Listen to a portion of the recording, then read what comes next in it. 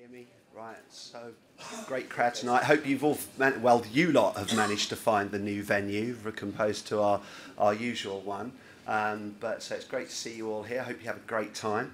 Um, I'm just going to like hand over to Mehdi from the Telegraph engineering team just to sort of like give a general welcome from the Telegraph and also about the health and safety stuff and where the toilets are and all that kind of thing. So he'll just do that and then I'll come back and tell you a bit more about the night. Thanks, uh, thanks, Perry.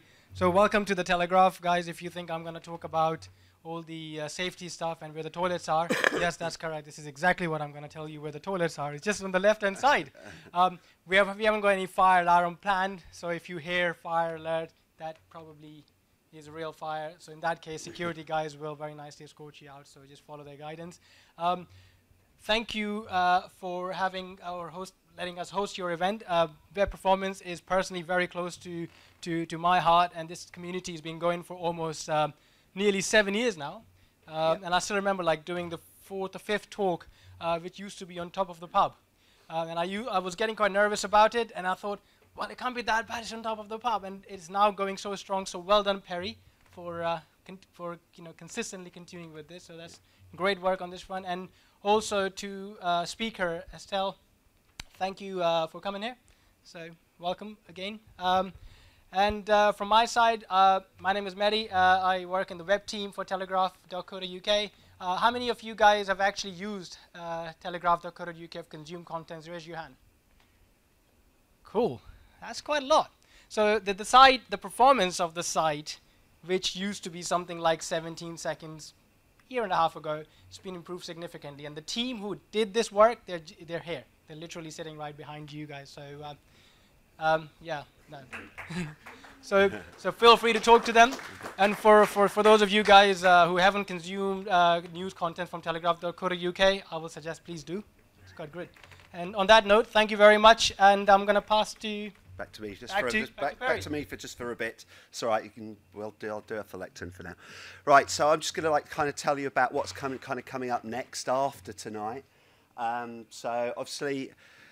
Uh, I'm going to ask for a, a, a, little, little bit of calmness, not too much rowdiness in the crowd, because Estelle first messaged me at 3:48 this morning, right, as she was getting on her flight in San Francisco, only arriving in London at 3 p.m. this afternoon.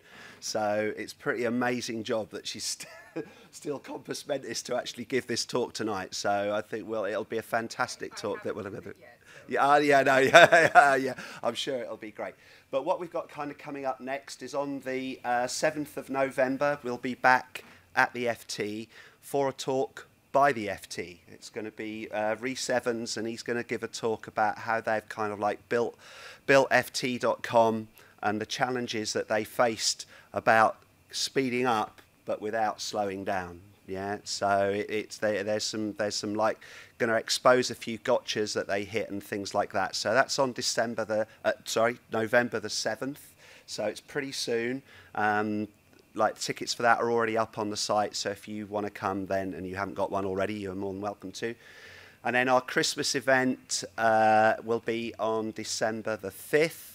Um, that's kind of going to be almost like an, a bit of an open mic type night. So, although I will, if you've got like kind of little short talks, it can really be on anything.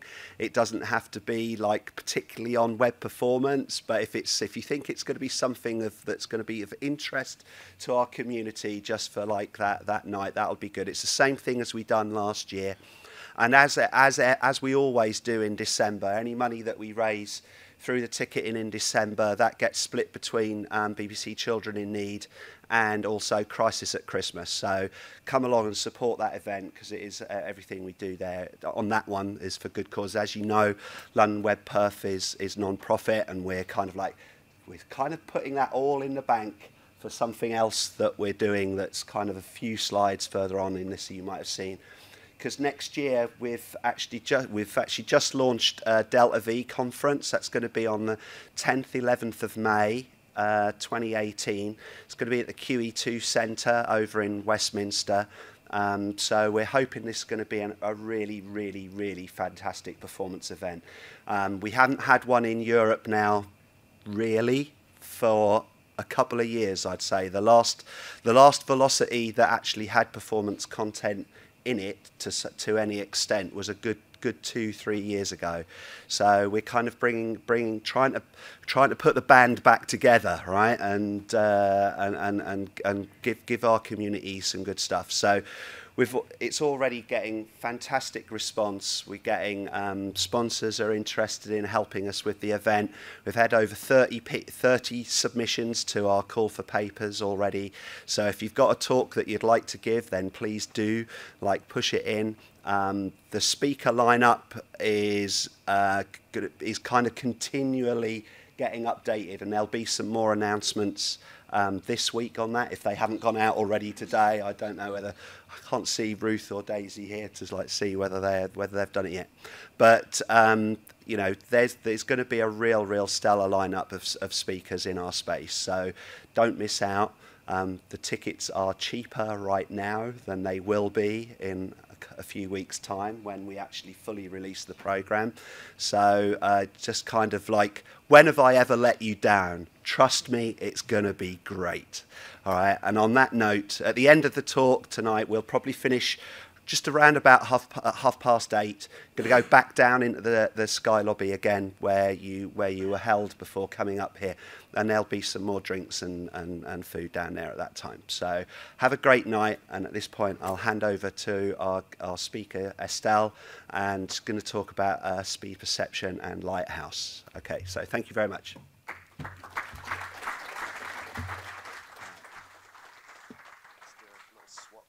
Thank you.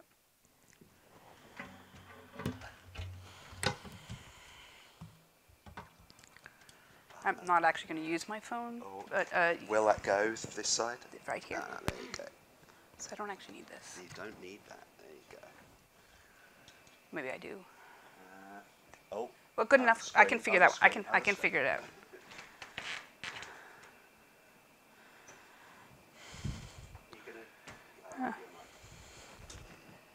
I just have to mirror the screens. Give me a moment.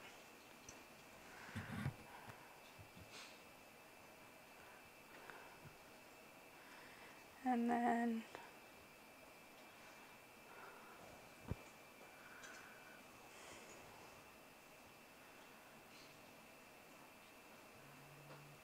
I think my browser crashed. Yeah. Hmm. Okay.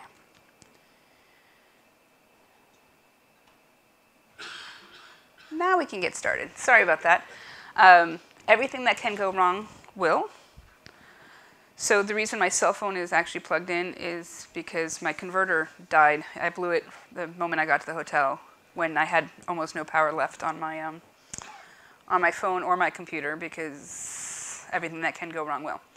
So today we're going to talk about um, speed perception, um, which is measuring subjective uh, versus objective measurements, and um, then we're going to cover lighthouse a little bit. So uh, the table of contents for the talk is a performance overview, and then I'm going to talk about speed index, which everyone here has heard of speed index, um, and then perceptual speed index. Who here has heard of uh, PSI? You don't follow me on Twitter, okay. Um, and then I'm going to talk about the speed perception study, and then I'm going to go into Lighthouse. So my name is Estelle. I'm an open web evangelist and a community um, engineer been doing front end for 17 years. My first performance talk uh, at Velocity was in 2011 on mobile, and it was on actually what happens in the device rather than input output because no one was covering that. And now Velocity doesn't cover that at all. And so I also have a conference, I'll cover that uh, later on. But go to the one here or go to the one in California, whichever one you'd rather go to. Or you can do both, both. Um, this book right here, uh, ebook came out yesterday. So uh, 10,088 pages if you have insomnia. Uh, wrote it with Eric Meyer. So first part, performance overview. What is performance, metrics, and perceived performance? So two seconds to load. Is that fast? Yes, no. It depends. If it's a hello world, it's ridiculously slow. How about 18 seconds? Slow or fast? Well, if you were downloading the trilogy of Lord of the Rings, that would be amazing, right? You could wait that long. Um, so it's really like, it depends. And this is the first audience that's ever said it depends. People have been like, two seconds, that's slow. And I'm like, and who here has a site that loads faster than two seconds? Almost no one. Um, so there's no such thing as load time anyway. Because when I said two seconds for Hello World, was that because you were running um, a Pentium 1 and that was your server? Uh, it's, it's a range. So there's not actually, you can't actually say that there's a load time. Or you can say it's a, it's a range, but there's no actual number. Because every time you test it, it depends on uh, your network, it depends on your device, and it depends on how much uh, traffic the, the user gets.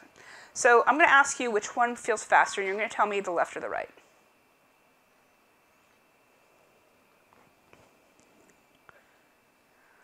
Okay, so you already made a decision, right? So the left, right? Well, the left hadn't actually finished loading, right? So people made a decision that this had loaded at the five second mark, but it had not finished loading. So all of the metrics that we use um, are measuring things, are measuring metrics, like time to load, visual complete, time to first byte. Um, performance is many things. It's time to load, it's time until the site is usable, it's whether it, there's jitter when you're scrolling or jitter in an animation. It's how responsive it is to your touch. It's also how responsive it is on that load because sometimes it loads and it's not interactive. Um, so in 2015, Google came up with Rail. Has everyone here heard of Rail? Yeah, pretty much. Okay, I won't go too much. But it basically said for, for scrolling to be good, you need to um, have a, a, frame rate of, um, of 60 frames per second. If you're not going to have a frame rate of 60 frames per second, you might want to do 30 frames per second but you certainly don't want to do 7 frames per second, 62, because that'll look bad. You want it to be consistent. Um, but 16 milliseconds per frame is the frame rate we want, actually 16 and 2 thirds. But that includes everything. That includes all of the JavaScript and um, the repaint. So if you're going to repaint the page, you have to have all your JavaScript done and all um, everything done in less time than that. Uh, time to tell a user that you've received their input, 100 milliseconds. Uh, time for idle is 50 milliseconds, and what that means is, see, I asked if everyone's heard of it. Everyone's heard of it. I'm going to anyways. So, and then it says page load uh, should be under a second, and that is a goal, but almost no one um, gets to visually complete in, in one second. So web performance, the, the metrics that we're looking at um, the things we consider are the number of downloads, how long um, it takes to parse and execute. Um, and then what I actually find most important is the perceived performance, what the user thinks it takes, because that's the user experience. So at five seconds, you had all decided that that page had loaded. You knew which one was faster. But your metrics would have told you maybe that story or maybe a different story. The metric I chose to use, which was visually complete, showed the, the contrary. Um, so um, all of these right here, these are the things that we, um, that we measure. Um, these are the things that we can measure. We can actually find the time for all of those. Um, and then if you see the colors, I actually put those colors out because if you look on a flame chart, that's the colors that are used. Um, so that is what we're looking at. And these are all objective measurements, right? They're all metrics that we can count. But none of them are subjective or what the user is actually feeling. So I'm just going to give you one more example. So these two have approximately the same load time, right? 3.7 seconds. But they're visually complete is very, very different. The load time that we measured was 3.7 seconds. The visually complete, one takes twice as long as the other. Because one has jank, it has motion, it has a carousel. Don't put a carousel on your website. But, but had I asked originally which one loaded faster, some of them might have, some of you might have said at four seconds you would, could have determined because that jank doesn't bother you. Wow, that screen is tiny. Um, but I'm going to leave it that size uh, because I can't see it. Uh, because actually, well, let's try making it bigger. Nope. Okay. Um, so I could open it in a different page, but what I really want to show you is that these are the timelines, and just look how far it goes, right? It keeps going. So you have this, because so I'm going to be using Staples and Wolfermans throughout this example. And so above you have Staples, and below you have Wolfermans, which were those two sites we just looked at. When we look at load, um, that's the way it looks like. If we actually were to tell our boss, our boss tells us make the site faster. So are we going to give them this result, or are we going to give them this result? I can click on it, the one we had before, whatever. So you see how, depending on what I want to measure, visually complete, one's faster than the other. Time to load um, is the other way around. Okay, so what makes good user experience? Time to first byte? Here's another example of looking at things. This site, this is, this is total BS statistics, by the way. This site took seven seconds to load. This one took eight seconds to load. Which one loaded faster? What? Right, if, that, that one feels. This is a better user experience. So what um, we wanted to figure out is um, speed perception, what humans perceive to be fast. And these metrics, we don't know which one is actually best matches human perception. Um, and then this is, uh, I could open a new page, but basically, this is a DOM content loaded event. This website, um, it depends on you know how it says how long does it take to load. It depends what your network is. But a two second DOM content loaded event, because you have 43 dependencies, it might feel like it downloaded fast, but if you can't interact with it because it's taking two extra seconds, not good. So the questions we were asking ourselves um, was, how do different things impact users' perceived perception? So one of them was like that jitter that I showed you um, with staples taking a long time to load, but did that really bother people or does it not bother people? Is it possible to predict the, um, you know, can we, is there a metric to, to actually me measure jitter? Um,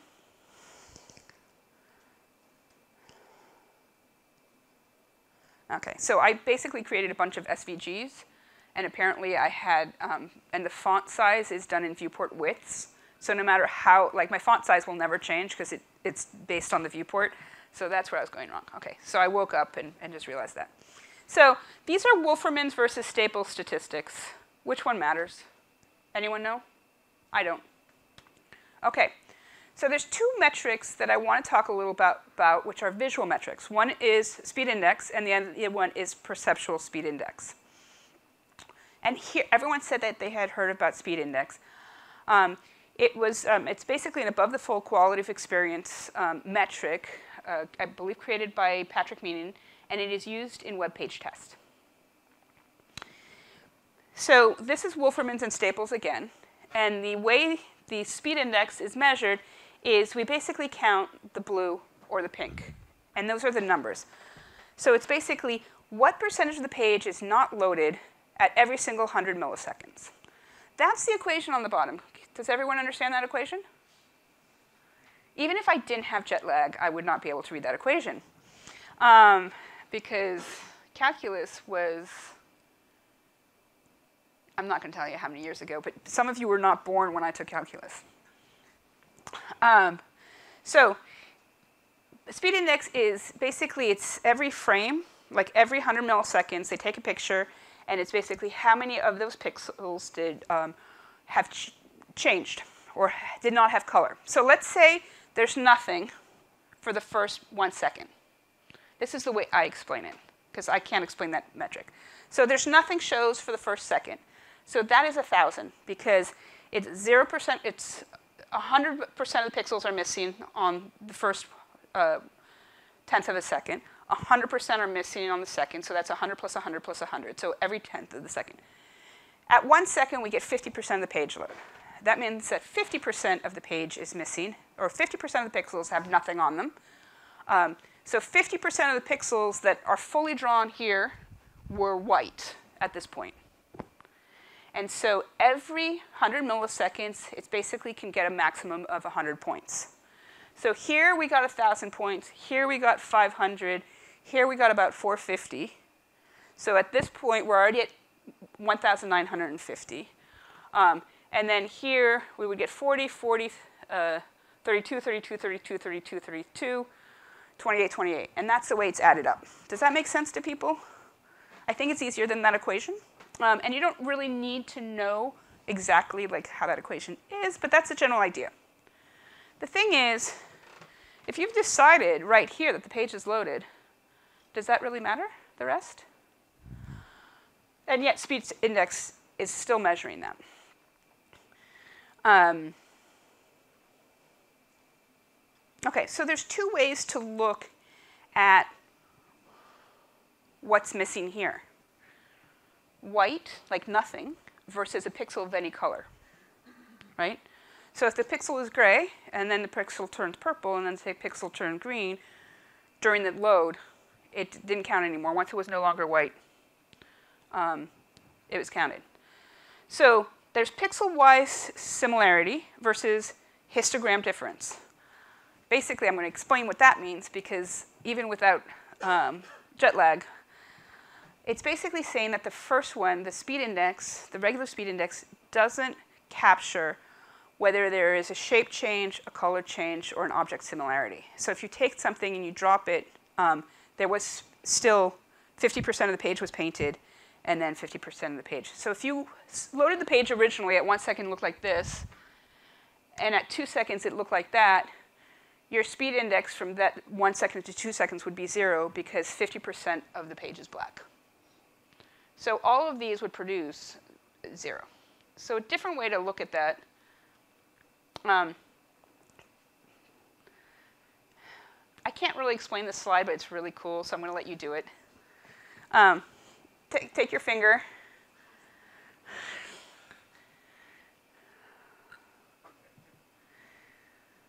So if something switches color and you can't, like, speed index doesn't capture that. And this one I think is the best way of explaining it. So all of these have a mean histogram difference of approximately 144. This one's 142, right? This is the original image, so this is perfect. There's no um, difference. This is a really good rendition of this, right? The mean histogram difference is 144, but the structural similarity is almost 100%. Whereas this is the worst, and mean histogram difference is 142, um, whereas the similarity is only 66%.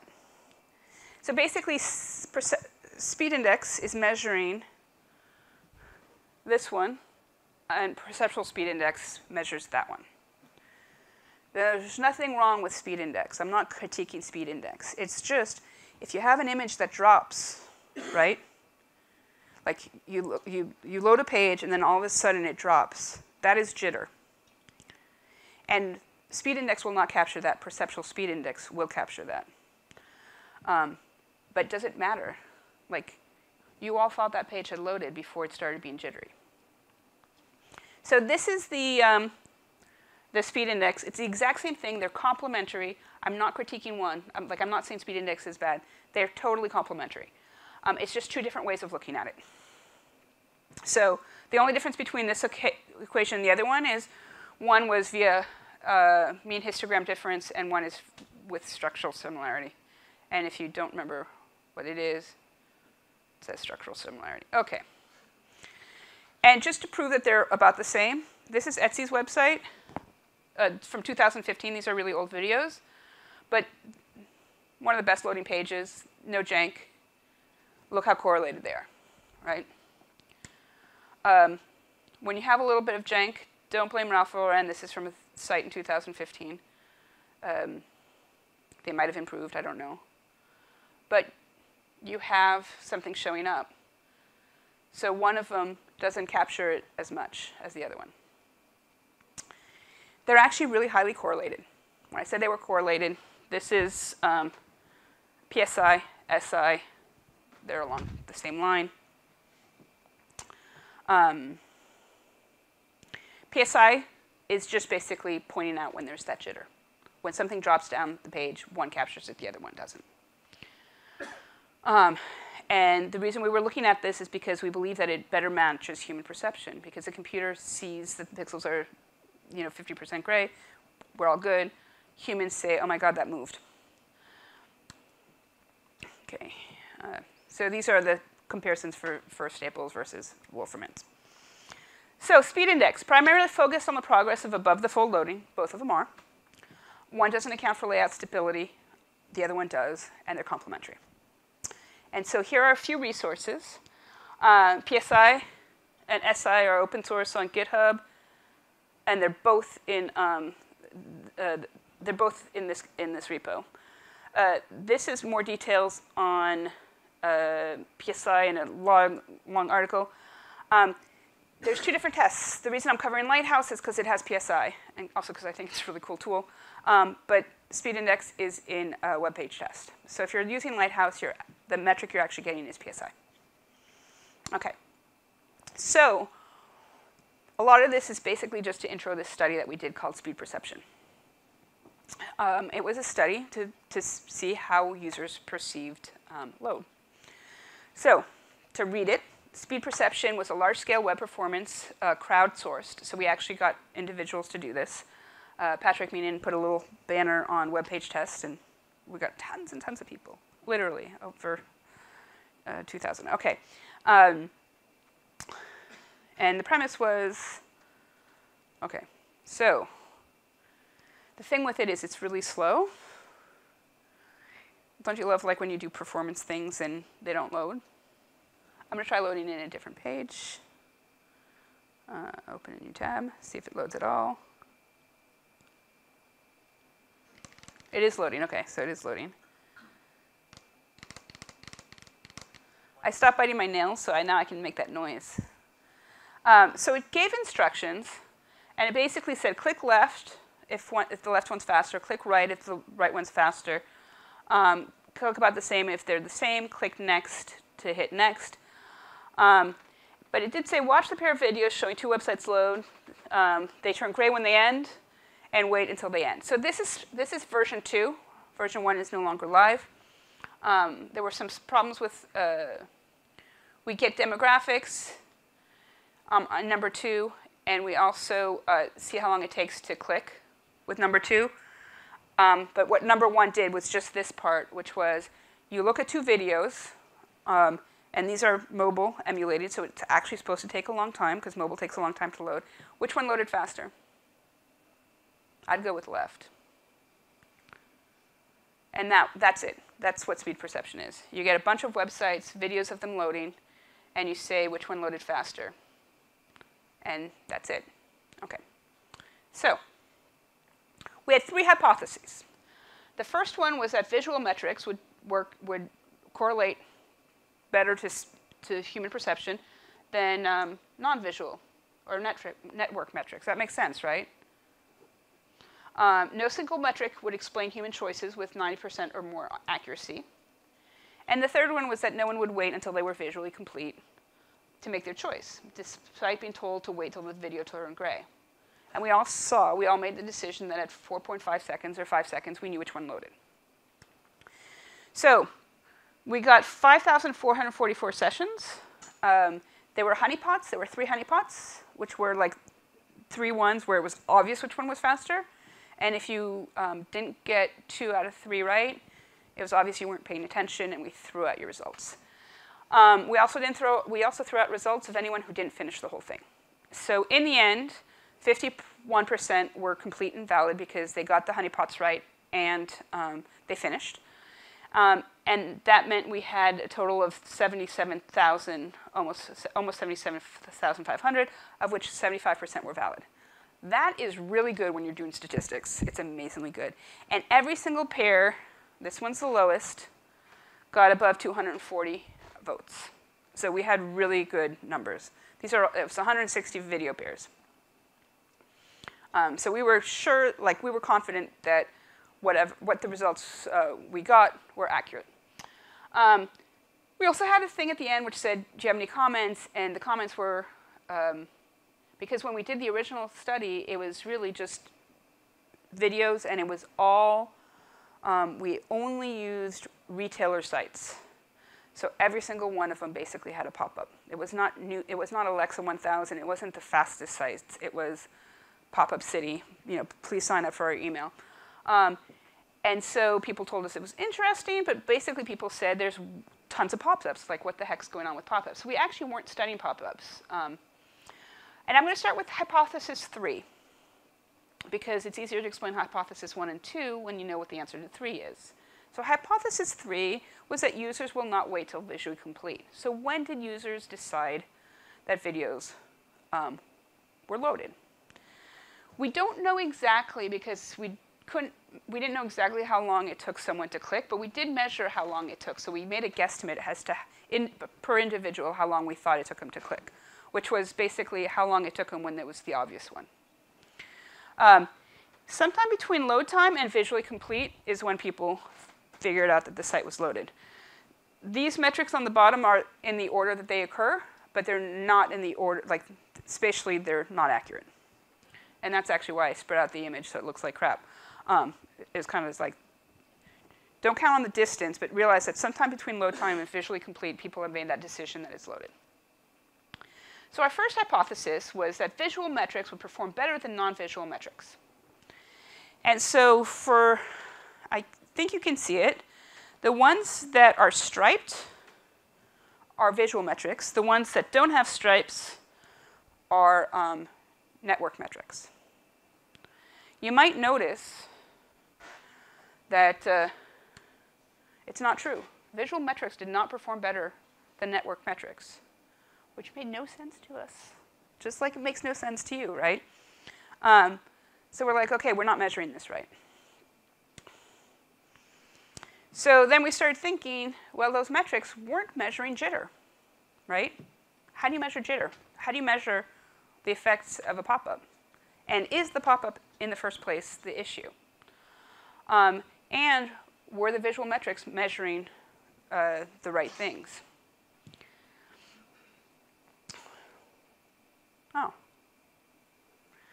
Uh, okay, so that was his equation. This, so I did this uh, Parvez Ahammad, who I used to work with, um, that was his, I, we were discussing it, and that was his whiteboard, and I'm like, I don't know how to write that in HTML. I actually do, but I'm too lazy. Um, so let me just reload this right here. Please reload, please reload, please reload. Okay. Um, so he basically said, instead of measuring it from zero to visually complete, which is what PSI and SI were doing, what if we measure it from render or up until render? Like, let's figure out different metrics. Because obviously, speed index, all these things, like visual metrics should be, like, the hypothesis should work. Um, so uh, instead of going all the way to the end, and ending it at time to click. So we did that. We um, looked at it um, to page load time. And we got a correlation that was much higher. So back here, the highest was render at 65%. If we looked at PSI and SI from 0 to page load time, it went up to 79 and 81% respectively. Because remember that original one when I said if you've decided 4.5 seconds that the page is loaded, why are we still counting perceptual speed? Like why are we still calculating the PSI and SI? That's what this one shows. So um, we basically just played with all the numbers. Now the thing is, this was not part of our hypothesis, right? You can't just uh, do a study, say, I didn't get the results I wanted. So let me fudge you know, some results. So this is what we're studying right now. We're basically saying, doing the study over again, and this is the hypothesis we have. Um, because, uh, did you, any of you uh, hear of the Harvard um, alcohol binge, or the college binge drinking study? Okay, so um, I went to this, the School of Public Health, and it was going on when I was there, uh, that study, and they defined binge drinking as five drinks. So how many people were binge drinking in college? And it was like 50 or 75% of men and like 20% of women or 10% of women. So they changed the definition of binge drinking for women. And I called bullshit, right? Because you don't change the definition of what binge drinking is once you realize that women aren't binge drinking on campus. It's like, well, you said this is what binge drinking is, so binge drinking is, you know, women aren't binge drinking. Um, so this is kind of the same thing. We need to study this again. Um, but this was a really interesting finding. So now it is true. We do have a number. Um, these three are striped, right? They are better indicator than the non-visual metrics. Well, these are visual metrics, but these three. Okay, so our second hypothesis was no single metric can explain human choices with 90% accuracy. So if we look back at the original ones, I got rid of the striping now. 65% um, was the highest. So that was true. And still true when we fudged with, when we played with the numbers. So we were like, is there any number that we can play with to get a better result?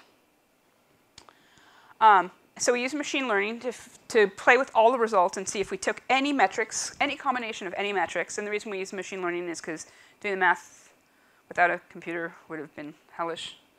Um, and there it is. Let me make it smaller so you can see it. Okay. Um, when we took a, a, metric, these are the metrics we already discussed talked about, right? Page load time, these two right here.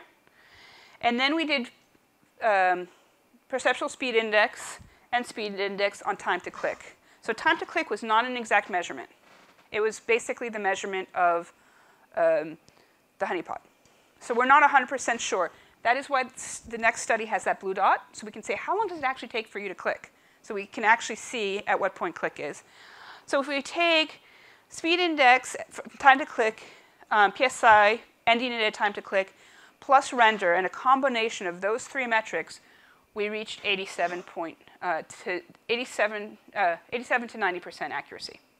So that is the most accurate um, correlation that we found. Yet, just like that alcohol binge drinking study, we can't just make up these definitions once we find numbers that match, so we need to test it. So the conclusions and thoughts on this was that there was no one unicorn metric, but there might be a combination metric. Um, and so in the second study, this is uh, information on the first study. Um, uh, I used to work at Instart Logic. Oh. And because I used to work there and I don't work there anymore, I have a ton of bracelets if you want them. Um, help me clean up my house. And also, I travel like with a suitcase full of these, and then I don't have them when I leave. Um, and then I have room for stuff that I can buy. Um, and when I went on a, a, trip two weeks ago, they lost my suitcase. So I had to buy a suitcase, or I acquired a suitcase. I didn't really buy a suitcase because I was in France, and I brought home a suitcase full of chocolate. Literally, I had 20, uh, I had 12 and a half kilos of chocolate. so if anyone wants this bracelet, it lights up when you move it. But what's really cool is um, if you turn it on and you talk to it, it lights up. and some people think this is for kids. No, I wear these. Um, so if you want some, I have some. Anyway, so I used to work at Instart Logic with all these wonderful people. Um, uh, Parvez is still there, and he is working on uh, number two. So the phase one was um, finished a year ago, um, and phase two is going much slower. Um, but in phase two, we're looking at all of these metrics, and we've did all the learnings that we did, which was one, it's not all e-retail. It is Alexa or 1000. So there are some that have no pop-ups. So we can see if that's different. Um, there's uh, modals versus non-modals and stuff like that, so we can really take a look at it. So, um, oh.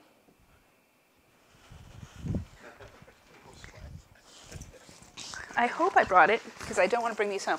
Okay, so these are business cards. If you can take one or 10 and pass it around. Um, all it has is the, um, it has the website, so you can take this, because, uh, here. I'm a, an engineer with marketing skills. Really bad marketing skills, but marketing skills nonetheless. Um, so I made business cards. If you can take, the, if you can um, do the challenge, that would be awesome, so that we can finish uh, part two. So, with all said and done, everything I've talked about today, there's one thing that I really want. Um, it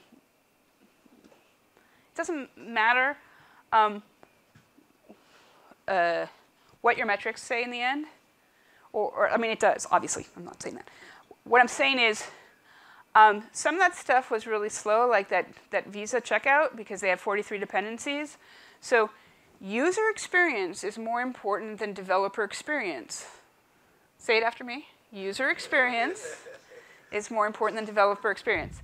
So a lot of people think performance is, as an engineer, how long does it take us to develop something? That does not matter. What matters is how the user feels when they get all your, your data at the end. So don't use 200 frameworks if it's going to um, take all your time. So that said and done, let's go into Lighthouse. And uh, there's an unclosed element somewhere in my deck. So I had to, the easiest way to fix the deck was just to cut in half and put the second half in a new deck um, so it lines up correctly. So I'm going to do a code example, talk about Lighthouse, and show um, some improvements. So the code example is this. Has anyone seen Zoolander? This is funny. Okay, so um, it's actually it's a machine learning workshop, and um, your instructors are Hal 9000 and Eve, and Hal has you know, and there's a little. Uh, this was an East. Uh, this was an April Fool's joke. Um, so you can actually turn it off and turn it back on. And then if you go down, there's people who gave the reviews or machines that gave the reviews. So there is um, Blend and Smooth, who used to be a margarita maker and now is an aspiring load balancer. There's Hoover Suckdeep, um, who was a former sucker and now is an aspiring DDoS cop. And then there's Toasty McToastface. Um, he was formerly half-baked. And now I guess he wants to be Donald Trump. That is so scary. Um, but he was hacked apparently because uh, that happened. Um, so this was a joke I created for um, for April Fools. So I didn't really care about the performance, but I thought if I'm going to give a talk, I need a crappy site that I need to load to, to, to test. Um, so I decided to make a progressive web app, or at least improve it. So I decided to use Lighthouse, and Lighthouse tests whether it's a progressive web app, the features, whether you have them, performance, best practices, and accessibility.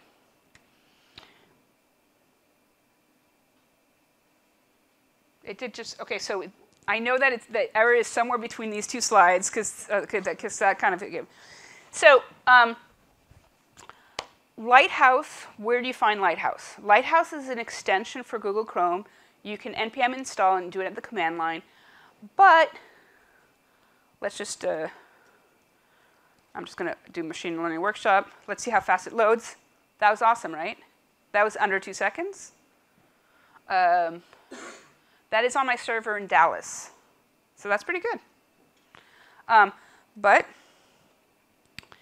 if I go in the Chrome DevTools and I go under audits, it is right there instead of the former audits. So I don't know if you guys know what the audits looked like before, but you could do all sorts of audits. Now it's just Lighthouse. And then it says, do you want to do test for progressive web app, performance, best practices, and accessibility? So that's where you find it. Um, but you can also do it at the command line. And I could just type, um, I could npm install it, and then just write Lighthouse, and then the URL I want to test. Uh, next slide.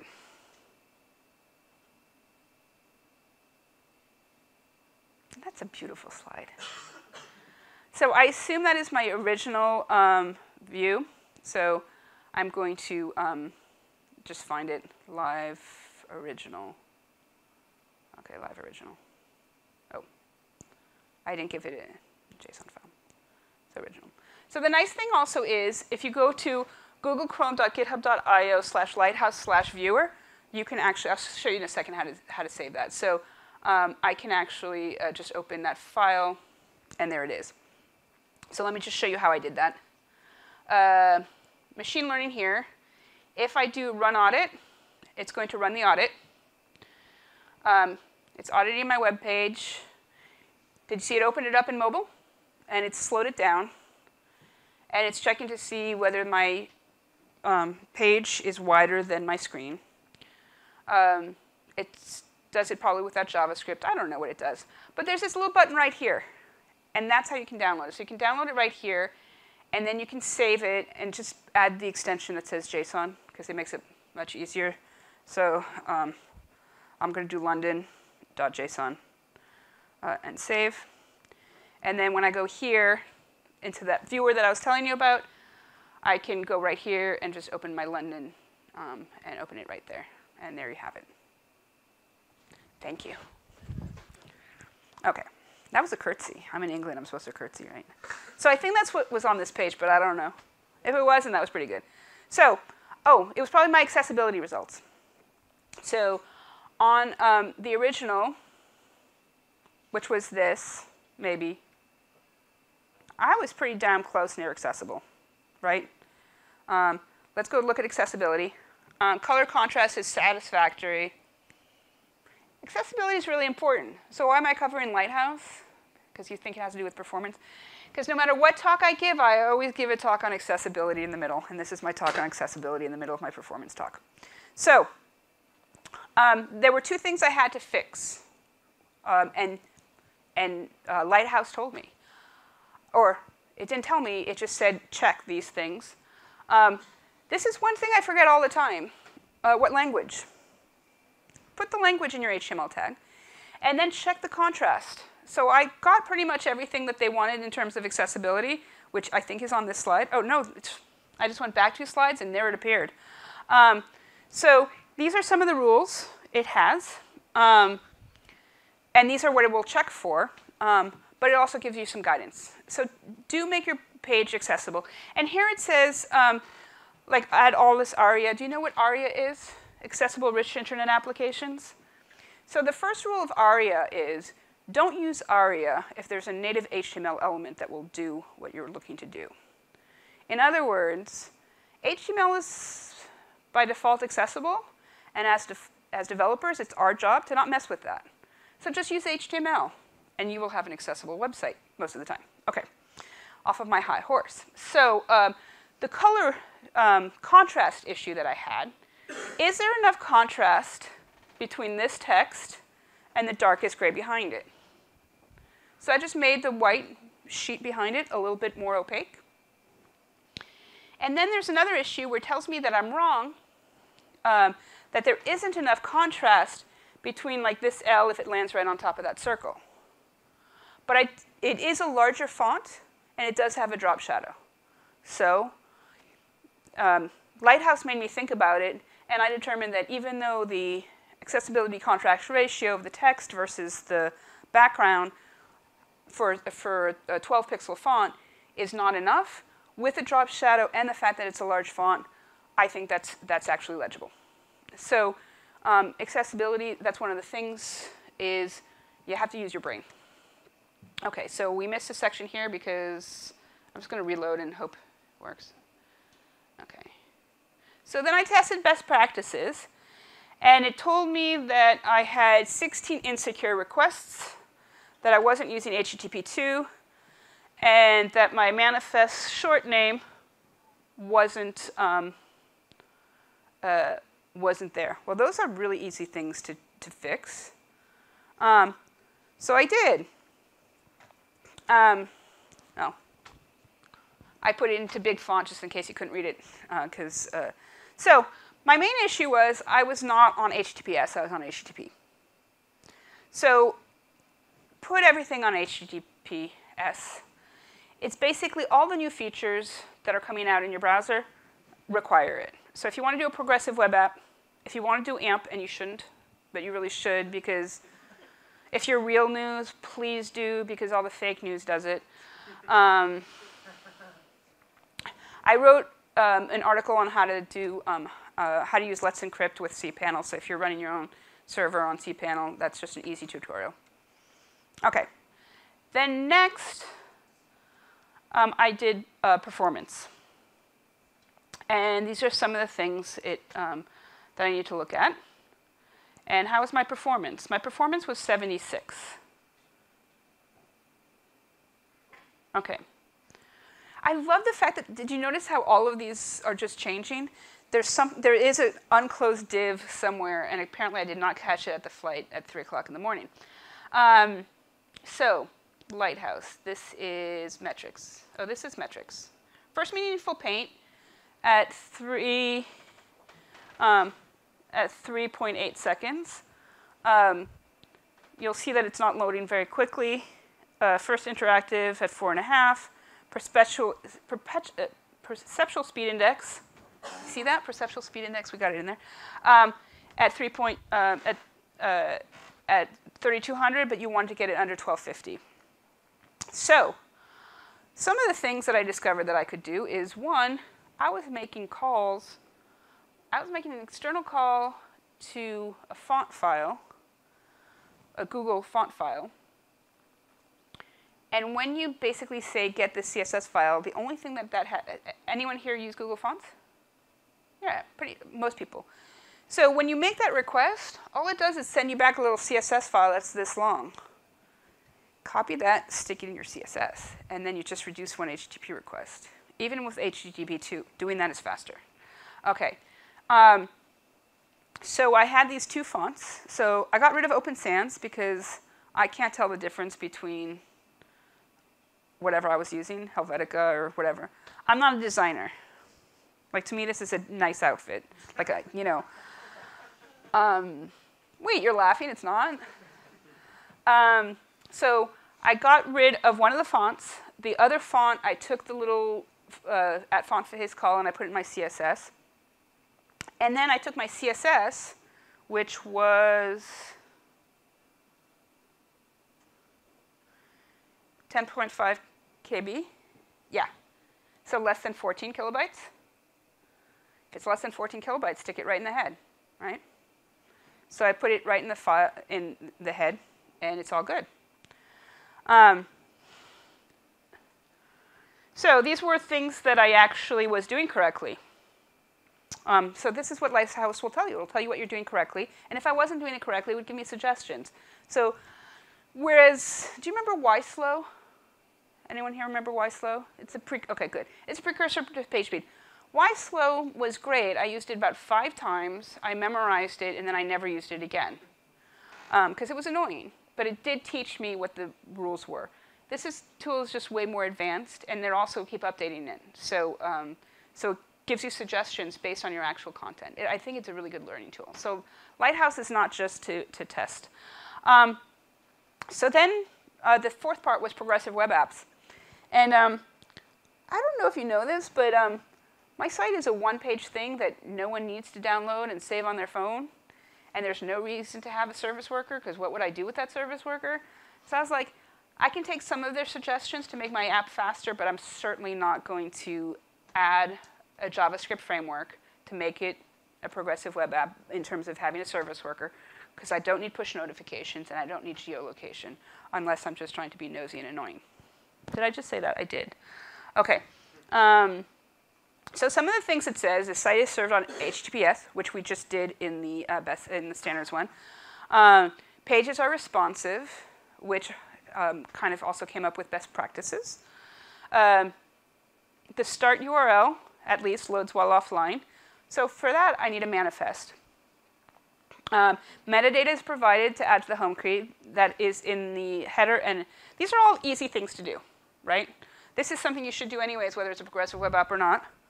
Um, and each page has a URL. That's also a really good thing to do, whether it's a progressive web app or not.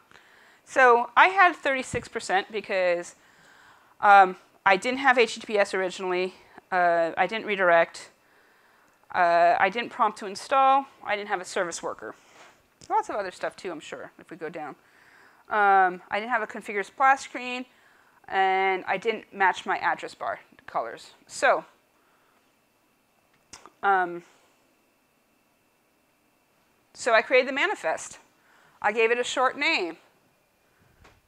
That's solved one of the problems. I just upped my percent by 5% because this is all a game, right?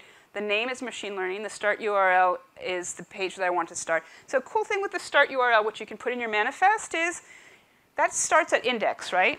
But for metrics, I can actually say, hey, it came from the home screen. So you can just put a, um, parameters there. And then you have icons for every single um, possible uh, image size you need for the home page. And then you can tell it a background color. So, oh, okay, I'm on, um, we'll see if this works. It probably won't work. Okay, so, yeah. So, it's going to be quick, but when I click on this, it just says Machine Learning Workshop and it's white. Because because that says Machine Learning Workshop, and this is white. Um, but I didn't actually uh, uh, make it work offline. So there's no, uh, there's no caching of anything. I could have added caching, but um, the nice thing though is, uh, also this phone is four years old, so I don't even know if it has the capabilities. Um, this is my travel phone, except for I haven't gotten the SIM card yet. So it's useless. Um, um actually, I could go online. So, uh, oh, yeah. The description is an April Fool's joke that I still, still finds funny um, almost a year later. Um, orientation portrait, theme color. So the theme color is when you, uh, let's do Twitter. So Twitter is a progressive web app. And it just says Twitter Lite with the icon. And it tells me I'm off offline. But the top bar is white. On mine, the top bar is going to be blue. Okay, so those are just some features that you can put into your manifest, and you just up your score by 50% or something like that. Um, and then, now I know why. I was messing with it, and I didn't actually use the final version. I'm using the uh, midpoint version, so it didn't actually, that didn't actually have the full manifest on it. So then in your HTML, you stick link manifest and the manifest JSON file, this being the JSON file, and this is the screenshot uh, when it was working, which was, this is the normal bar, right? But look, it's dark blue, it, like it's, it's a theme. Um, so this usually is uh, gray on my phone. But I said, hey, be blue. And it was. Okay. So if I reran Lighthouse, this is um, done a while ago, um, I didn't do the rest because I don't need a service worker. Um, I didn't have it run offline. Um, okay, a few other features for progressive web apps, which I didn't tell you, but I was going to talk about progressive web apps, but here I am talking about progressive web apps. Um, you want to add all of these for um, Apple, and you want to add uh, Microsoft uh, rules as well. These are going to be all online, so I'm not going to stay on them. Okay. So this is about progressive web apps, and we only said we were going to talk about Lighthouse, and I don't want to talk about progressive web apps. Um, so that's basically it for my talk, except for this one other thing, which is um, uh, California has way better weather than London. So I think you should go to the London conference, but I think you should also go to um, my conference. And uh, let's go to our speakers pages. Um, so, so far we have uh, Jem Young, Paul Irish, Marcy Sutton. That's me. Um, uh, Leonie Watson. And uh, we do have other speakers, but um, I don't really know how to do SVGs. And these SVGs were pretty easy. And now it's kind of like, how do you, like, like Paul Irish, you will never see him not in a blue checkered shirt. Do you guys know who Paul Irish is? Yeah. It's like if I was going to do Perry, it would just be like if I was to do Perry, you wouldn't be able to tell the difference between Perry and Bruce Lawson, except for Bruce Lawson would have a tie and Perry wouldn't. Um, so I have to go to images, but we have um, uh, we got 175 uh, proposals, and um, I have to still go through them. Uh, but it's a three-day conference preceded by a one-day workshop um, to get you up to speed uh, for people who are not. Up, you guys don't need to attend the first day. This is bringing other people into the into the um, fold. And it is between halfway between Silicon Valley and San Francisco, so it's a great reason to go to California. And um, if you don't want to attend, you can always sponsor. Um, so here is the this is the Perma residence uh, for this talk, and um, uh, oh, also I'm fun employed. So if you know anyone who is hiring a front end manager or a DevRel position, where I can travel to the UK and other countries from California, that would be awesome. But I'm not moving from California because um, the weather is literally perfect every single day. Any questions?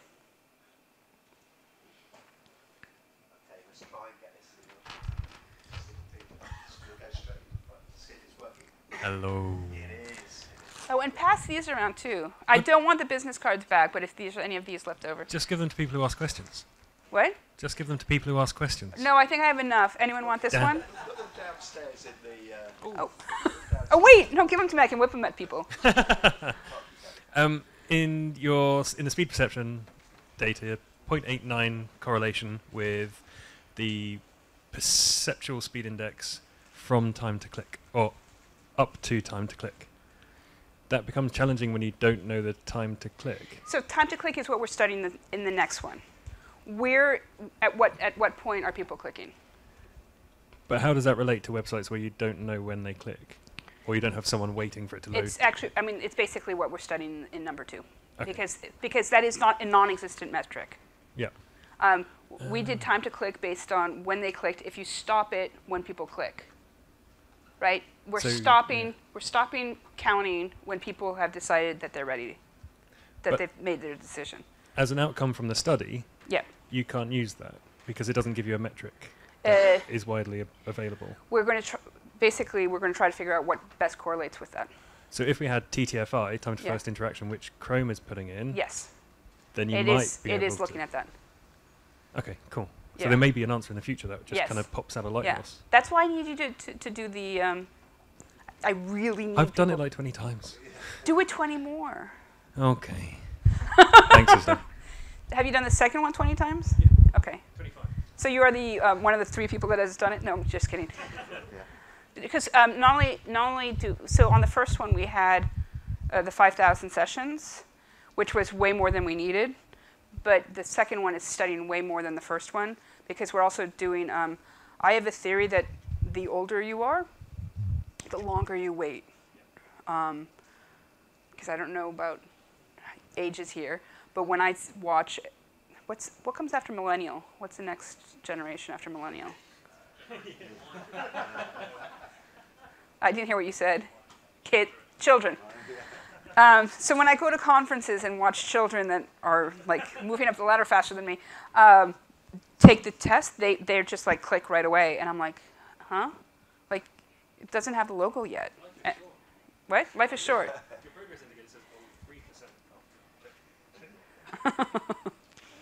So yeah, it's it's what we're looking at, um, and we ha- we have been working with uh, Google in terms of looking at that before it was actually in the browser.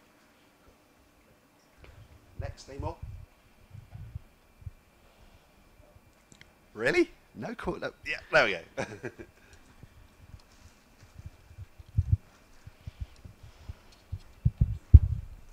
So you mentioned something briefly about people who take the test is from a banner on the top of web page tests. Yep. So is the population people who use web page tests? The one for the first one was Okay. That's why it's taking you longer second time around, I'm guessing. yeah. I mean that was just people were like oh people were really into it, um, and so um, you know it kind of going viral when you're not popular. To me, it went viral. Like to you know to people who are a little bit hipper than me, that wasn't really viral. But for performance community, that was kind of viral.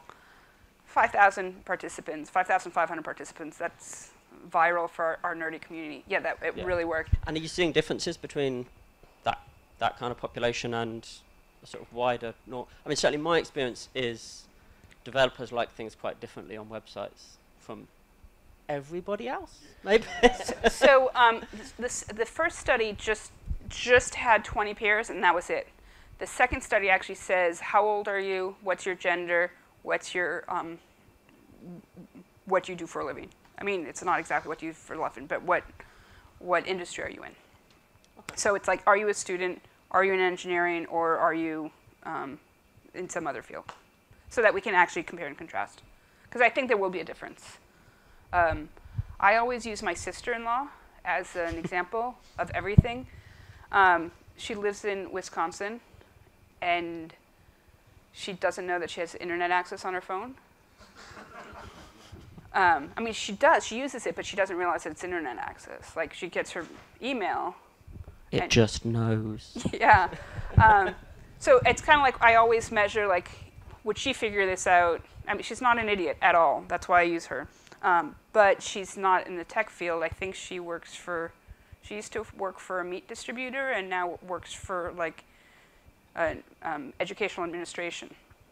Completely not computer related. So, good user experience. Can she figure it out? Awesome user experience. Um, so you should always have someone like that in your head when you're developing stuff, because you know, if we were developing just for performance for us, uh, it's completely different. Like we hate those pop-ups. I'm not finding as much hatred of pop-ups in the general population. Any more? Looking around? Looking around? Right. I Okay, so think- that's it. When I said we hate pop-ups, all engineers are me, and all non-engineers are my sister-in-law. So if I hate something, then all engineers hate something. It's a, it's a sample size of one, but the most important one. No, I'm kidding.